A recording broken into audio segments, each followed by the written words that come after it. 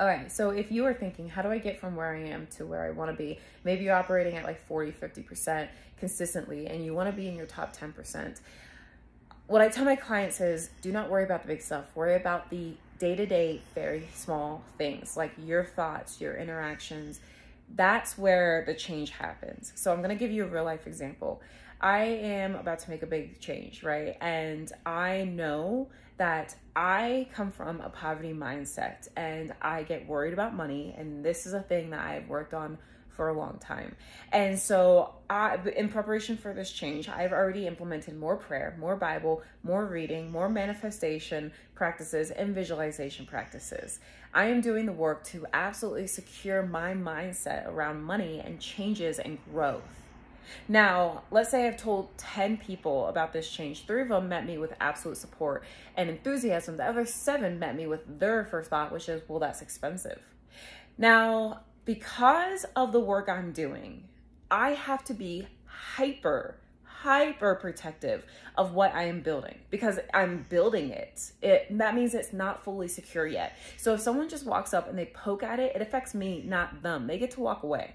So I have responded with, "Yeah, that's a you problem. Do not bring that to me. Don't do not bring your concerns to me." Because unless it helps or supports or grows, ads, it cannot be something that I allow myself to receive, especially when I'm in a space where I'm building. And so I know that that sounds uh, like I'm being a cunt, but the fact is, is that I will fight tooth and nail to protect what I am working on because I know that my best self doesn't just affect me. And I know that my best self, it, I, the level I want to operate on, not everybody is going to understand it and not everybody is going to be there. And so I can't bring myself back here to explain it to someone who will not understand.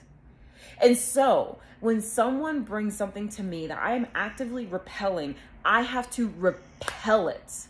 I cannot be gentle. I cannot be like, oh, if you could consider. No, do not bring that to me.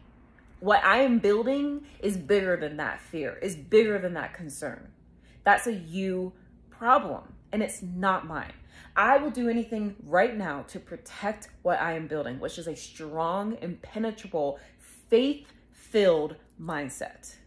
And so, if you are in that same space where you're like, how do I get better? It's the day to day stuff. Do not allow yourself to receive what does not help, even if that's from you.